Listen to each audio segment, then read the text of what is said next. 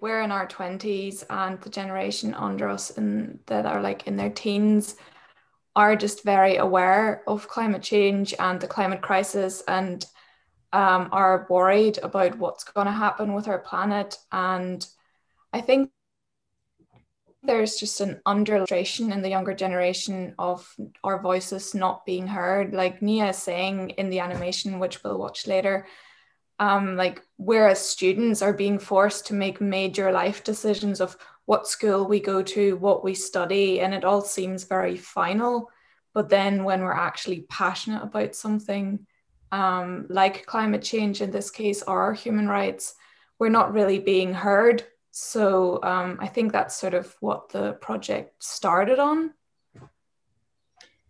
Yeah, because I mean, whenever whenever you sort of came to us with the idea, Isabelle, um, that was one of the first things that went in my head was previously talking to Nia and hear talk about all these kind of frustrations in life and how it felt like even only at sort of 16, 17 that everything was getting away from her and she didn't know what um, kind of she was entitled to and what she was sort of allowed to ask for and allowed to sort of aim for. Um, and I think it was yeah, it was really really interesting to be able to firstly show Nia, but then Nia kind of can show her friends that all of these things can be achieved and all of these things are fundamentally a right. Um, and on top of that is the is a similar right to protect the environment and, and ensure that you have somewhere safe to live in and grow and educate yourself and all that really important stuff it almost comes into that lack of access to information that we didn't really have 10 years ago about, well, the climate crisis to an extent wasn't a mainstream issue. Mm. And responses to it weren't, uh, there wasn't widespread outrage. It was definitely a minority. And it seems now that there needed to be kind of more holistic approach to education and how you can actually influence policy whenever you become an adult and go to university. Yeah, what I loved about um, recording the interview is at first Nia was kind of shy because she hadn't met us bef- like at first. And then like we kind of guided her a bit into it saying like look this is really free. We just want to basically hear your opinion like tell us about your experience. How is it with your friends in school? How do you feel about all of this? And then we got two hours of like raw material out of it because she just started talking and then she was saying this is frustrating me and this is frustrating and my friends do this and my friends do that. But then when there actually is something we think we can go to and help like the uh, fridays for future march school was making it basically impossible for the students to go there and forcing them to stay in school because over some failed day or they would be marked down in their marks because they're attending um, the demonstration and they were only allowed to go with their par- parents' um, permission slips. And I, I just feel like a lot of the times the education system is maybe putting unnecessary blocks into people's ways while um, a bit of support would like help so many people realize how important they are as a single person in this movement because often I feel like the message is you need to be a perfectly informed human rights activist or a perfect eco activist or you have to like live this perfect zero waste lifestyle. That's not true. Every little thing counts which is why we put the emphasis then on her for example on the way to school picking up um, wrappers because that counts. Like that wrapper is off the street and out of nature. So i think a lot of students and young people in general are kind of made to feel insignificant because their voices aren't heard and they're just sort of pushed into this mold that society kind of needs them to be in. Like go get your education go into a job like care about stuff later. But that's not an option for us anymore. Like we need to care now and we need to act now. Yeah and that was kind of the the intention behind a lot of the animation was that we wanted Nia to begin as this kind of singular, alone, isolated character where she was trying to affect change.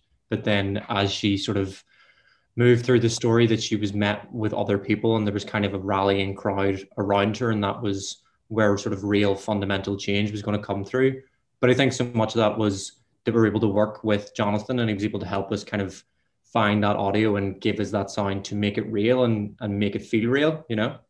Yeah exactly. I think sound was a major aspect of like bringing sort of the emotion we had behind it because obviously just Nia talking was powerful but then like the the sounds coming in and then pairing up with the animation I think made it a statement. So um yeah um Jonathan maybe you want to talk about um how you went about finding the sounds because I know we just gave you the script and some ideas yeah uh, because we hadn't worked with it so far, but then you came up with a really lovely sound design there.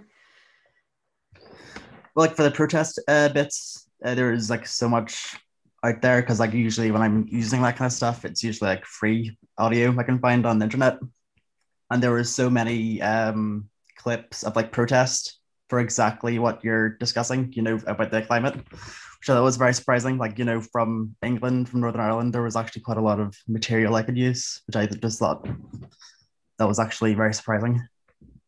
Like the fact it's such a big issue. Yeah, I guess that was kind of we wanted to to amplify that and show that there are Fridays for Future marches and there are various marches, but it's as important as someone just picking up rubbish on their way to school or way to work or whatever. And it's hmm.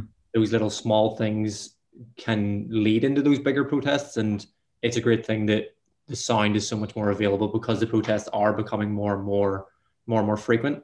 Um, and I think it's it's wonderful that we were able to to find that and just kind of go, this is something that's important. These people are saying this is important. Maybe you should look at it and see why it's see see why it's important too. You know. Yeah, exactly. I think it's um, the the importance of it is that like every little thing counts, which I think is our main message of the animation. So um, whether it's standing up to your teacher uh, who's telling you to do something that you don't feel comfortable, or picking up wrappers, or going to a march, all of these things matter, and that's what we wanted to convey in the animation, which I think we're going to go and watch now. So. Um, we hope you enjoy.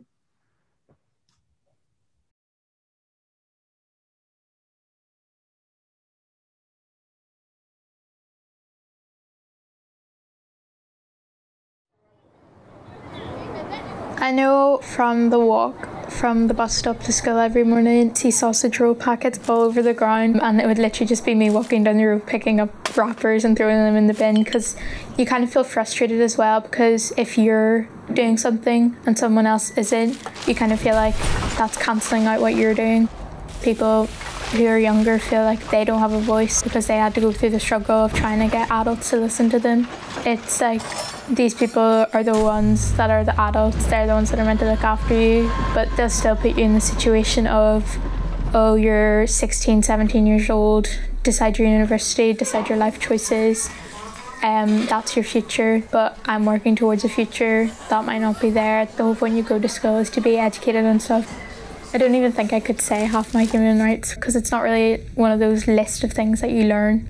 But now, because something's wrong is being done against me, I feel like I need to educate myself on what I need to know, what's right and wrong, and what I am entitled to as a human.